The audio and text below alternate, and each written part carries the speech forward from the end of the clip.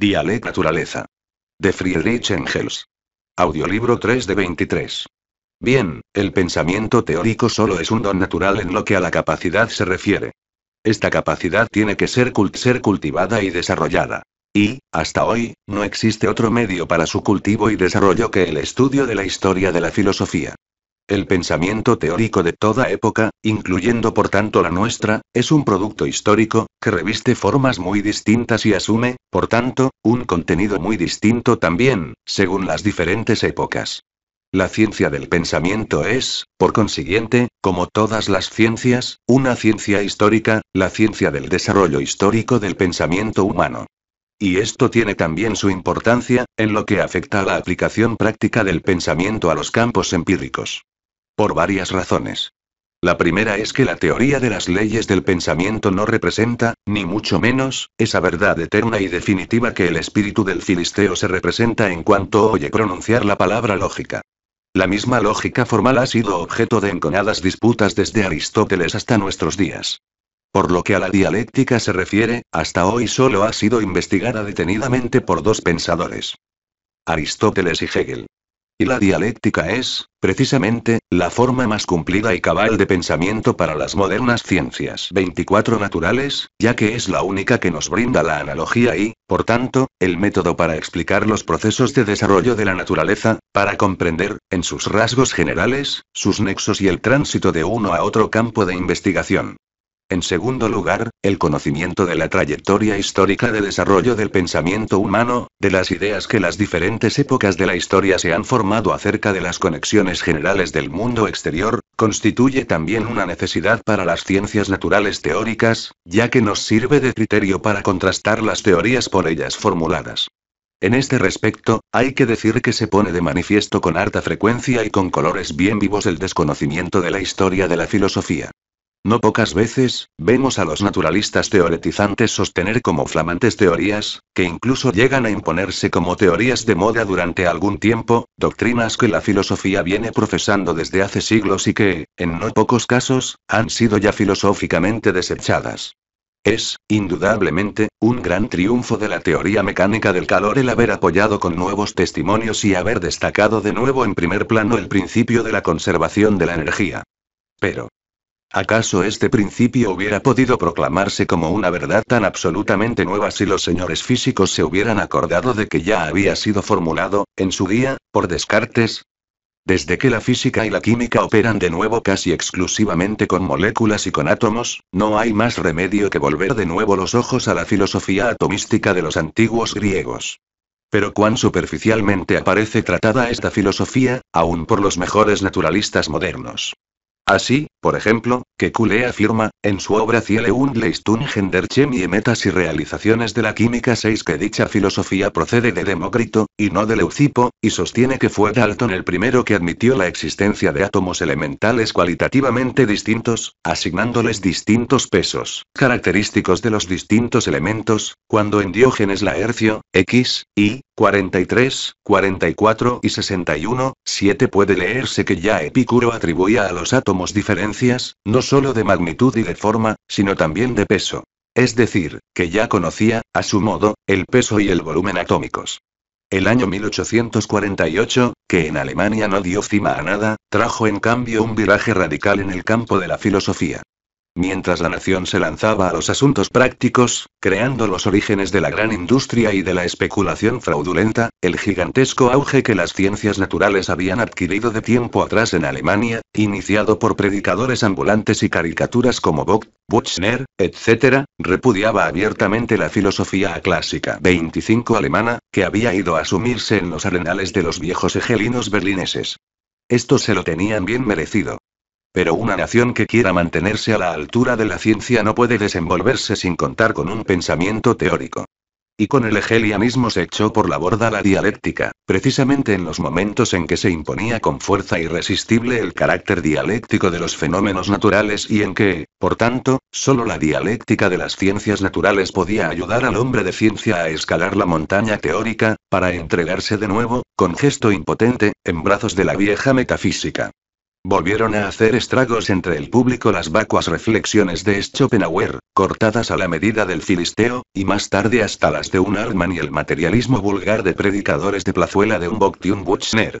En las universidades se hacían la competencia a los más diversos linajes del eclecticismo, que solo coincidían en ser todos ellos una mezcolanza de residuos de viejas filosofías y en ser todos igualmente metafísicos. De los escombros de la filosofía clásica solo se salvó un cierto neocantismo, cuya última palabra era la cosa en sí eternamente incognoscible. Es decir, precisamente la parte de Kant que menos merecía ser salvada. Resultado final de todo ello es la confusión y la algarabía que hoy reinan en el campo del pensamiento teórico. Apenas se puede tomar en la mano un libro teórico de ciencias naturales sin tener la impresión de que los propios naturalistas se dan cuenta de cómo están dominados por esa algarabía y confusión y de cómo la filosofía hoy en curso no ofrece absolutamente ninguna salida.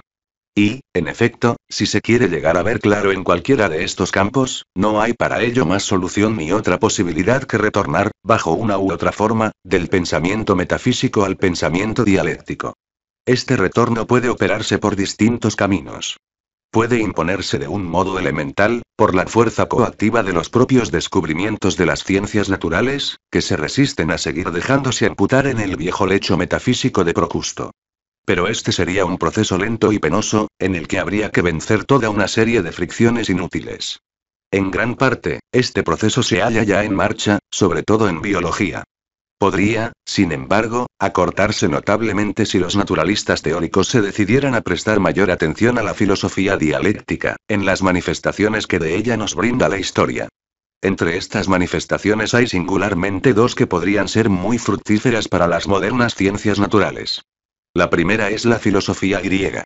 Aquí, la idea dialéctica se nos muestra todavía con la sencillez de lo espontáneo, sin que la 26 estorben aún aquellos amorosos obstáculos que a sí misma oponía la metafísica de los siglos XVII y XVIII, Bacon y Locke en Inglaterra, Wolff en Alemania, y con los que obstruía el camino que tenía que llevarla de la comprensión de los detalles a una visión de conjunto, a la comprensión de las concatenaciones generales.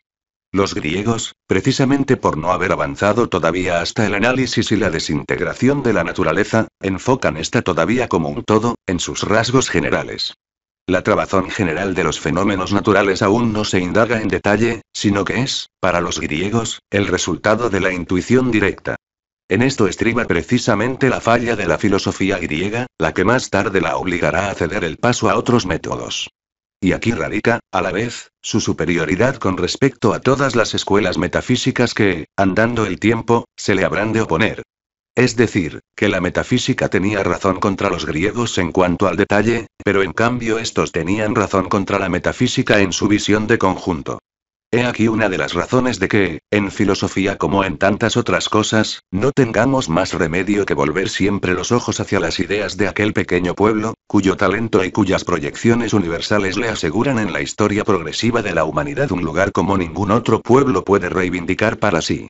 Pero aún hay otra razón, y es que las diversas formas de la filosofía griega contienen ya en germen, en gestación, todos los modos de concebir que, andando el tiempo, habrán de desarrollarse.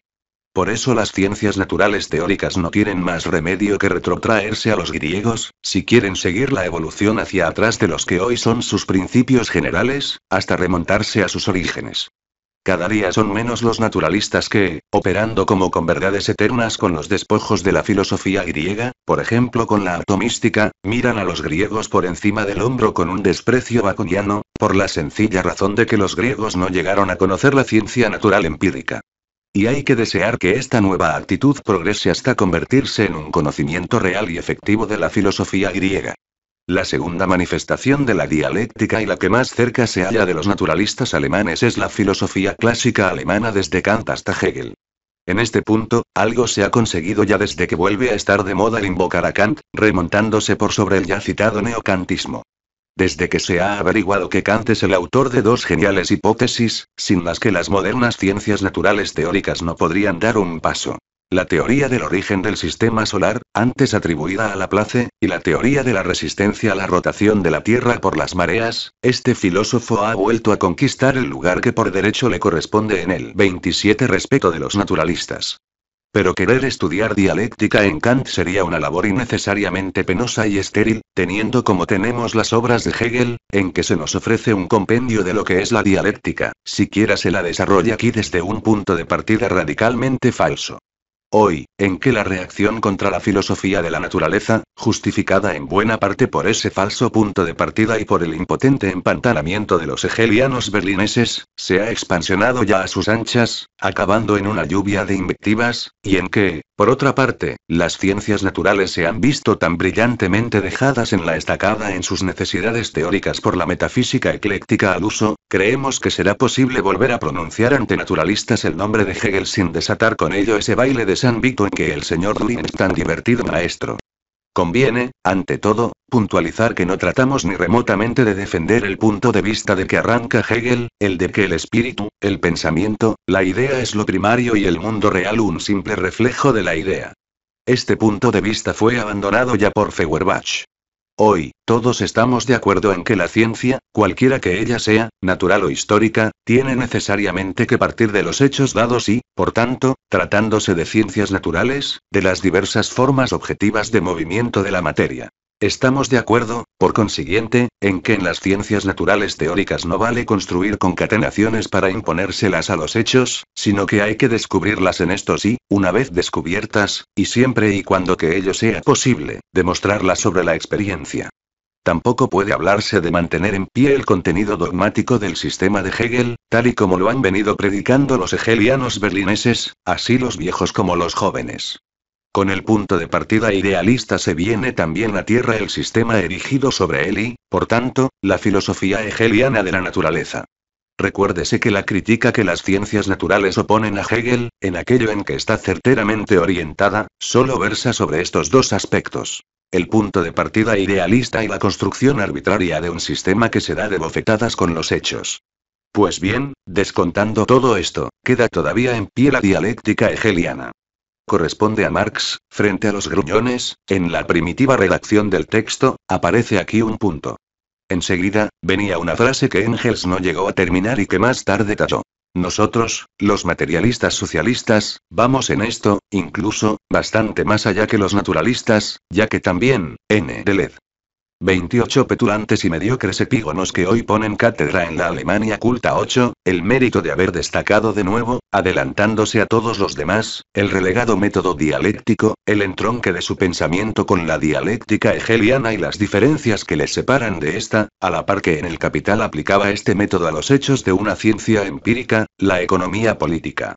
Para comprender el triunfo que esto representa basta fijarse en que, incluso en Alemania, no acierta la nueva escuela económica a remontarse por sobre el vulgar librecambismo más que plagiando a Marx, no pocas veces con tergiversaciones, so pretexto de criticarlo. En la dialéctica hegeliana reina la misma inversión de todas las conexiones reales que en las demás ramificaciones del sistema de Hegel. Pero, como dice Marx, el hecho de que la dialéctica sufra en manos de Hegel una mistificación, no obsta para que este filósofo fuese el primero que supo exponer de un modo amplio y consciente sus formas generales de movimiento. Lo que ocurre es que la dialéctica aparece, en él, invertida, puesta de cabeza. No hay más que darle la vuelta, mejor dicho, ponerla de pie, y enseguida se descubre bajo la corteza mística la semilla racional. En las propias ciencias naturales nos encontramos, no pocas veces, con teorías en que la realidad aparece vuelta del revés, en que las imágenes reflejas se toman por la forma original, siendo necesario, por tanto, darles la vuelta para restituirlas a su verdadera posición. Con frecuencia, estas teorías se entronizan durante largo tiempo. Así aconteció, por ejemplo, con el fenómeno del calor, en el que durante casi dos siglos se veía una misteriosa materia especial y no una forma en movimiento de la materia usual, hasta que la teoría mecánica del calor vino a colocar las cosas en su sitio. Pero aquello no fue obstáculo para que la física, dominada por la teoría del calor material, descubriese una serie de importantísimas leyes en torno al calor, abriendo el cauce, gracias sobre todo a Fourier y a Sadi Carnot, para una concepción exacta, concepción que hoy formula en sus verdaderos términos y traduce a su lenguaje propio las leyes descubiertas por sus predecesores y otro tanto ocurre en la química, donde la teoría flogística, después de 100 años de trabajo, empezó a suministrar los datos con ayuda de los cuales pudo Lavoisier descubrir en el oxígeno puesto de manifiesto por Priestley el verdadero polo contrario del imaginario flogisto, la función de Carnot C, literalmente invertida. 1 C igual la temperatura absoluta. Sin esta inversión, no serviría para nada. Nota de Engels. 29 con lo que toda la teoría flogística se venía a tierra. Pero sin que con ello se cancelaran, ni mucho menos, los resultados experimentales de la flogística. Lo único que se hizo fue dar la vuelta a sus fórmulas, traduciéndolas del lenguaje logístico a la terminología ya consagrada de la química, sin que por ello perdieron nada de su exactitud.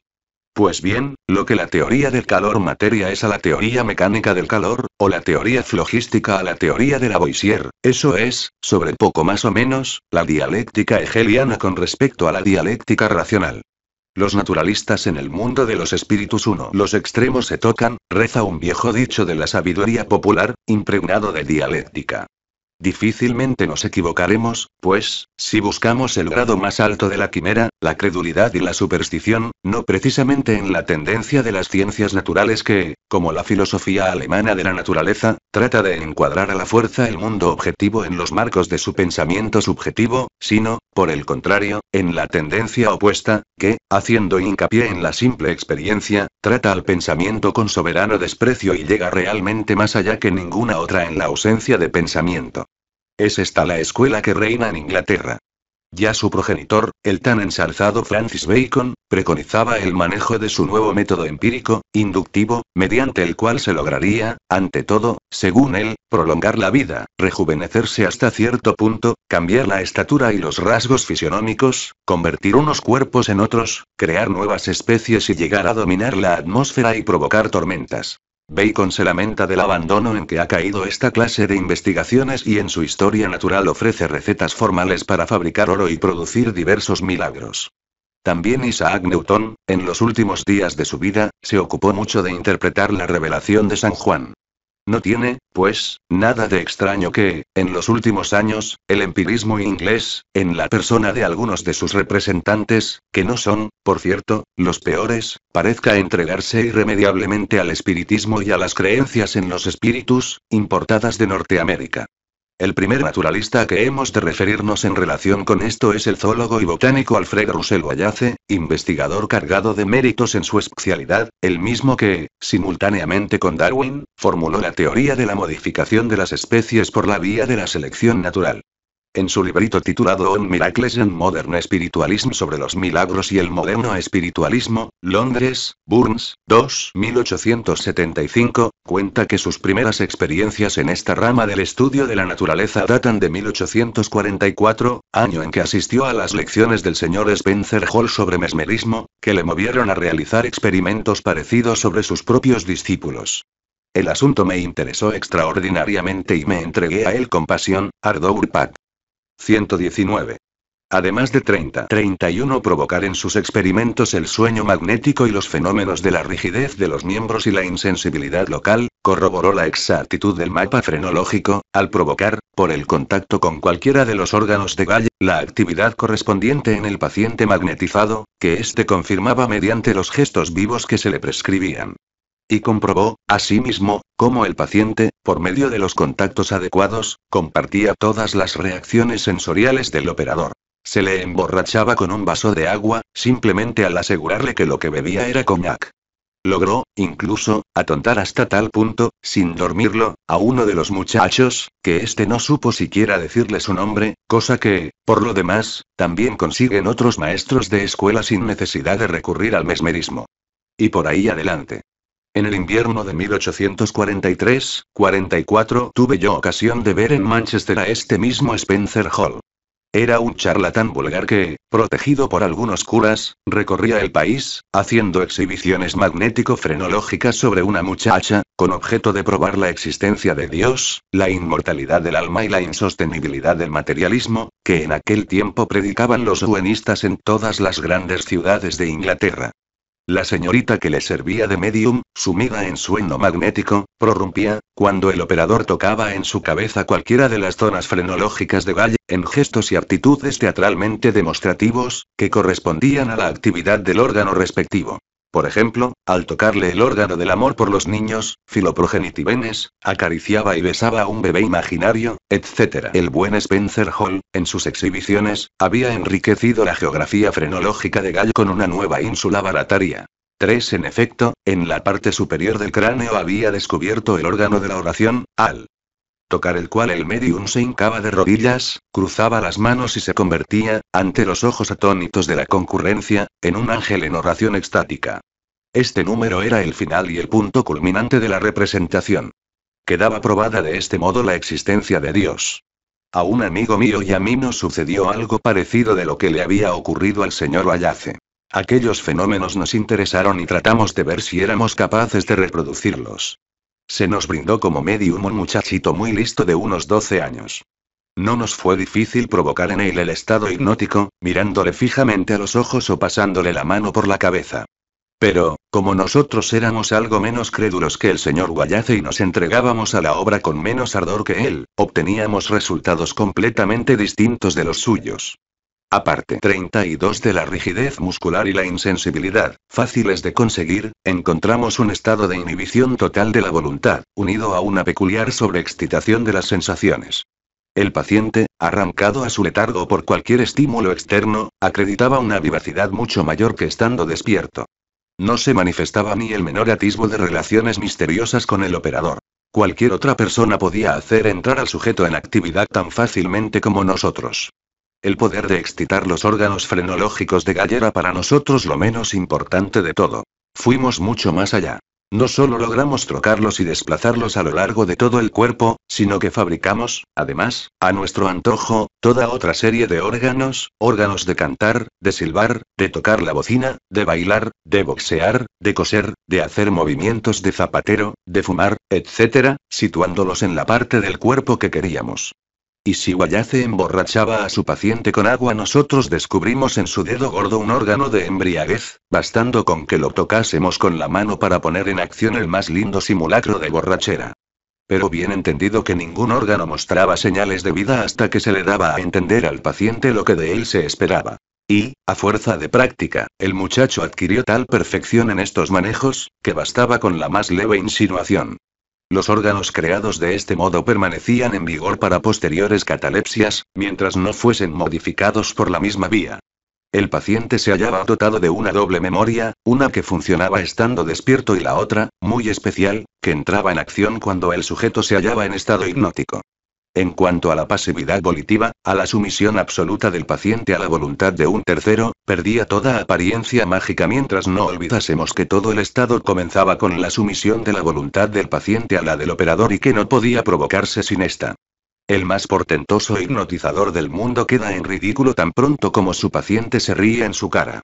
Mientras que nosotros, con nuestro frívolo escepticismo, descubríamos como base de la charlatanería magnético-frenológica una serie de fenómenos la mayoría de los cuales solo se diferenciaban en cuanto al grado de los que se dan en estado de vigilia, sin que se necesite recurrir, para explicarlos, a ninguna interpretación mística, la pasión, ardor, con que operaba el señor Guayace le llevaba a una serie de Ilusiones engañosas que le permitían confirmar en todos sus detalles el mapa frenológico de Gall y encontrar una relación misteriosa entre el operador y el 33 paciente en todo el relato del señor Vallace, cuya sinceridad raya en el candor, se trasluce que lo que a él le importaba no era tanto, ni mucho menos, descubrir el fondo real de la charlatanería como reproducir a todo trance los mismos fenómenos. Y basta con mostrar este mismo estado de ánimo para convertir en poquísimo tiempo al investigador neófito, por medio de las más simples y fáciles ilusiones engañosas, en un adepto. El señor Vallace acabó profesando sinceramente la fe en los misterios magnético-frenológicos, lo que le llevaba a pisar con un pie en el mundo de los espíritus. El otro pie se movió en la misma dirección en 1865. Al volver de sus 12 años de viajes por la zona tórrida, el señor Vallace se dedicó a experimentos de espiritismo, que le pusieron en relación con diferentes mediums. La obrilla suya que hemos citado revela cuán rápidos fueron sus progresos en este terreno y cómo llegó a dominar por completo el asunto. No solo trata de convencernos de que tomemos por moneda de buena ley todos los supuestos portentos de los Home, los hermanos Davenport y demás mediums que muestran sus artes más o menos por dinero y que en su mayoría han sido desenmascarados muchas veces como unos tramposos, sino que nos cuenta, además, toda una serie de historias de espíritus del remoto pasado, que él considera acreditadas como ciertas. Las pitonisas del oráculo griego y las brujas de la Edad Media eran, según él, mediums, y la obra de Jámblico de Divinaciones sobre la adivinación describe ya con toda precisión, a su juicio, los más asombrosos fenómenos del espiritualismo moderno, página 229. Pondremos solamente un ejemplo para que se vea con cuánta credulidad admite el señor Guayace la confirmación científica de estos portentos. No cabe duda de que es muy fuerte pedirnos que creamos en la posibilidad de que los supuestos espíritus se dejen fotografiar y, puestos en este camino, tenemos, indudablemente, derecho a exigir que tales pretendidas fotografías de espíritus sean investigadas del modo más fidedigno, antes de ser reconocidas como auténticas. Pues bien, en la PAC 187 de su obra cuenta el señor Guayace que en marzo de 1872 una señora Guppy, cuyo nombre de familia era Nichols, una medium muy conocida, se hizo fotografiar en Notting Hill, 4 en casa del señor Hudson, en unión de su esposo y de su niño, y en ambas fotografías aparece detrás de ella una alta. Como ya hemos dicho, los pacientes van adquiriendo mayor perfección con la práctica. Cabe, pues, la posibilidad de que, al hacerse habitual la sumisión de la voluntad y cobrar mayor intimidad la relación entre las dos partes, se potencien algunos de los fenómenos y se manifiesten de modo reflejo incluso estando el paciente despierto. Nota de Engels. 34 Figura de mujer delicadamente, Finelli, envuelta en gasa blanca, con rasgos un poco orientales y en actitud de bendecir. Una de dos cosas son, aquí, absolutamente ciertas o se acusa la presencia de un ser vivo e inteligente, o el señor y la señora Guppy, el fotógrafo y una cuarta persona han urdido un bill, wicked, fraude, sin desdecirse de él desde entonces. Pero yo conozco muy bien al señor y a la señora Guppy y tengo la convicción absoluta de que son tan incapaces de un fraude a naturaleza como en el campo de las ciencias naturales podría serlo cualquier serio investigador de la verdad. Página 188. Por tanto, una de dos. O fraude o fotografía de un espíritu. De acuerdo.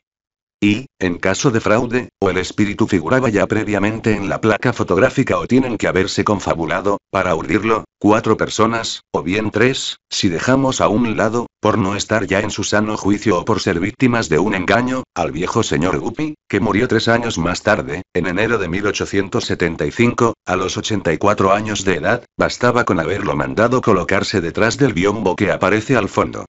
No hace falta perder muchas palabras en demostrar que cualquier fotógrafo podía, sin dificultad, procurarse un modelo para hacer de espíritu. Y se da, además, el caso de que, poco después, el fotógrafo Hudson fue públicamente denunciado como falsificador habitual de fotografías de espíritus, lo que lleva al señor Vallace a añadir, a manera de reserva. De lo que no cabe duda es que, de existir un fraude, inmediatamente habría sido descubierto por los espiritualistas PAC. 189. Como vemos, el fotógrafo no inspira gran confianza. Queda la señora Guppy, en favor de la cual habla el convencimiento absoluto de su amigo Wallace, pero nada más. Nada más. En modo alguno. En favor de la absoluta confianza que la señora Guppy inspira habla su propia afirmación de que un día de junio de 1871, al anochecer, fue transportada por los aires en estado inconsciente desde su casa en Newbury Park hasta el NUM. 69 de la Lambs Conduit Street, tres millas inglesas en línea recta, y depositada sobre una mesa, en medio de una reunión de espiritistas, al llegar a dicha casa, en el número 69. Las puertas de la sala estaban cerradas y, a pesar de que la señora Guppy era una de las damas más obesas de Londres, que ya es decir, su súbita irrupción en la sala no abrió ningún boquete. Ere, ten, one of two things are absolutely certain. El mundo de los espíritus está por encima de las leyes de la gramática. Un bromista citó en una sesión de espiritismo al espíritu del gramático Lindley Murray. Al preguntársele si estaba allí, contestó. Iare giro norteamericano. En lugar de Ian. 5 y es que el medium era de los Estados Unidos. Nota de audiolibro generado por Leer con los oídos.